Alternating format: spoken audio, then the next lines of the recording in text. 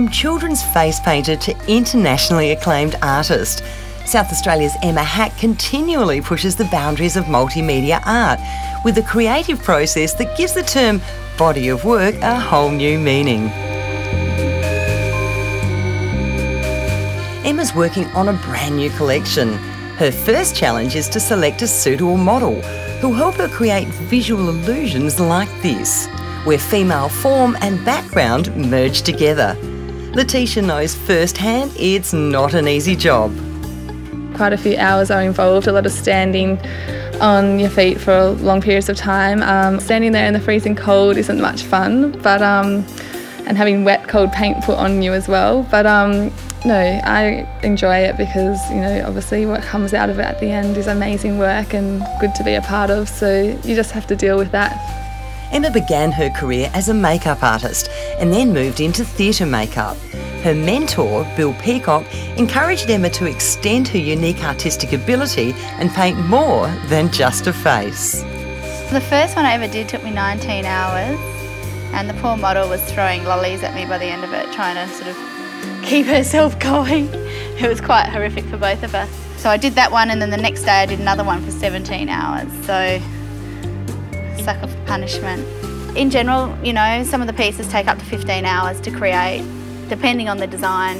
When there's a lot of straight edges and geometric lines, it tends to take a lot longer.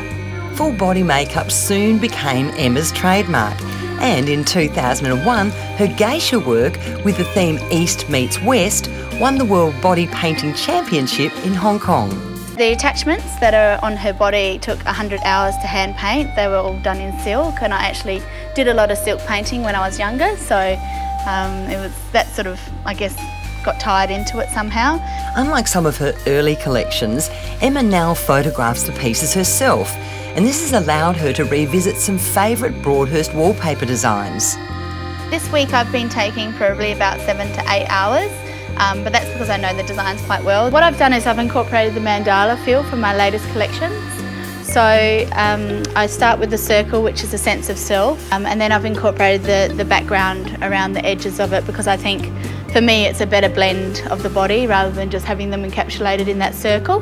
Her native mandala series saw models holding cute and sometimes not so cute Australian wildlife. I was in the painting with the baby Joey. I got kicked in the boob with that one, and um, I also shot with a tawny frogmouth owl, uh, which vomited on me, and a bittern, which bit me.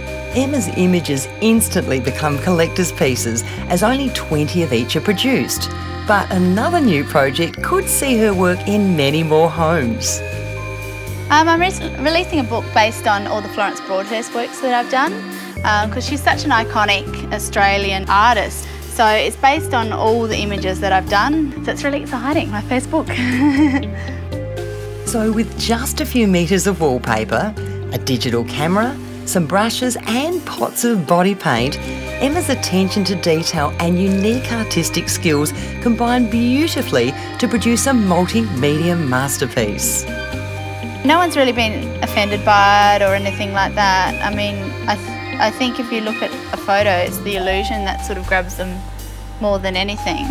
And that's the important bit about this. I think is that you see the pattern to start with and then you see the human form within it and it tricks the eye. Her new collection will be exhibited in November at AP Bond Contemporary Art on Magill Road, Stepney where you'll find her work all year round. Emma, this is simply incredible. We've literally watched Letitia disappear into the wallpaper over the last few hours. This collection is going to be stunning. What's next? Um, I've got New Zealand, Hong Kong lined up and also maybe New York, so I'm just having a chat to people there. Um, it'll be fantastic to take my art to the world. Um, I'm really excited to be working with the Florence Broadhurst designs for this next collection, so I think it's going to be really strong. And this coming week, you'll find an amazing audio-visual exhibition celebrating 21 years of Emma's body art at the Myer Centre in the city.